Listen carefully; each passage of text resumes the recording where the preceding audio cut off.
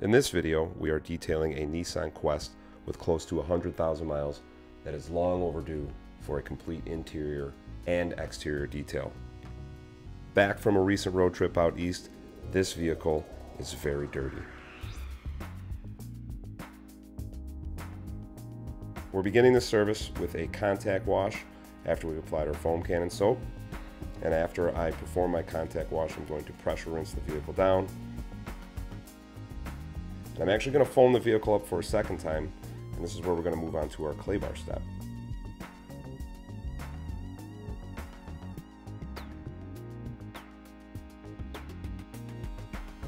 Now normally I like to clean the rims and tires first, but because we're chasing the sun, I chose to do that second.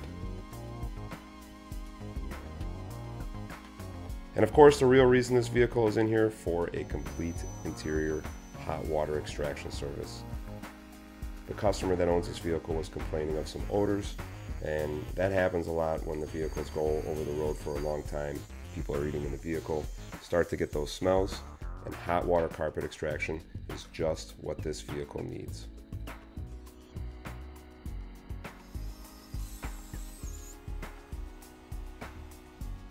flushing out the fibers and cleaning the leather seats made a huge difference to the look of this vehicle's interior.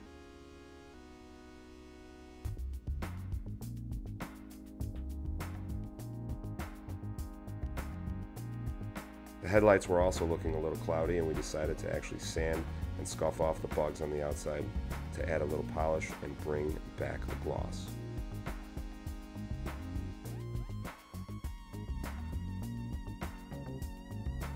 For a one day service, this van is looking new. Thanks to my good friend Ruben, we make a good team.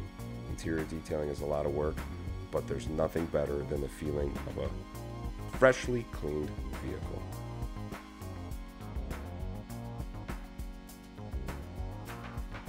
Thanks for watching.